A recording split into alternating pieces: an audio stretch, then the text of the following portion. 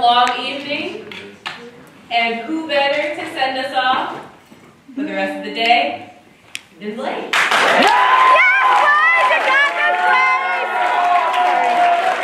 It's like, it's like, I don't know, I don't know. Oh.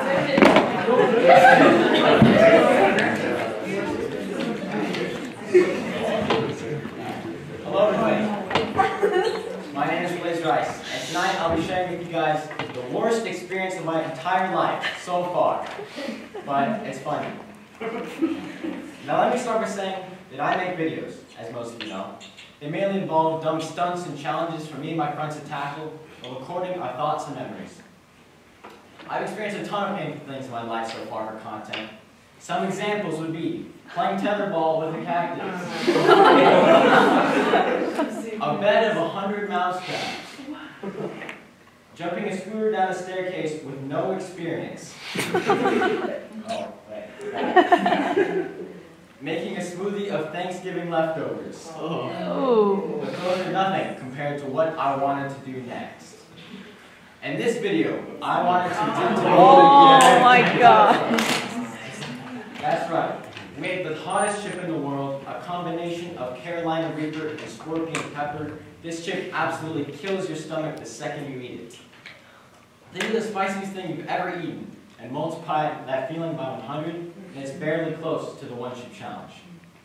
I asked all my friends to join me in this challenge, but there was only one man who would accept the offer. None other than Christian Sandberg.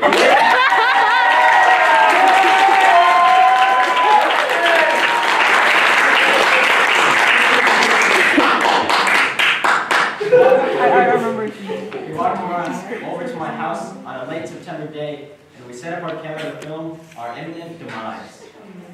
We did a little intro, then ate the chip, thus starting the worst experience I've ever had. Almost immediately. Almost immediately. The taste of the spices was unbearable, and I was close to throwing up within the first five seconds. The heat seeped in, starting small, but gradually building, getting worse with time. Nothing I say other than the fact, nothing I say can describe the pain. Other than I felt like I was eating a blowtorch.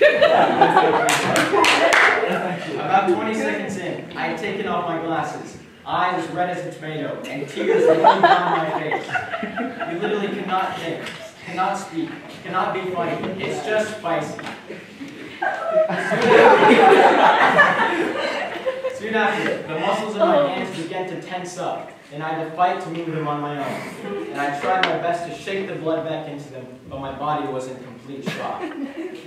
The heat would not stop. The heat would not stop. I had to open my What? and I chugged until I couldn't chug anymore. Then I threw the entire gallon of milk up on the table. Once we thought we were done, we had the bright idea to wash our faces off with the hose, the man we stooped. Somehow, washing off our faces made the spices travel into our eyes, basically blinding us with the heat. Now, our mouths and, and faces were both on fire, and we were running around the yard screaming. And the heat of the moment, we took a picture. A picture, a picture that marks the end of our one chip challenge experience. Also because I don't really want to get into detail about how my stomach felt the day after.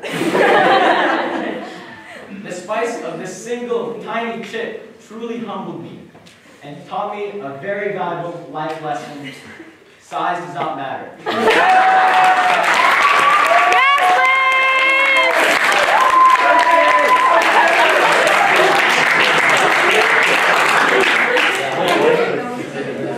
Looking back, this may have been the worst experience of my life, but that video is amazing. And the memories we created that day will last forever. If there's anything you all should take away from this, I say just have fun and experience as many things as you can while you still can, even if they can be risky. And that's all she wrote.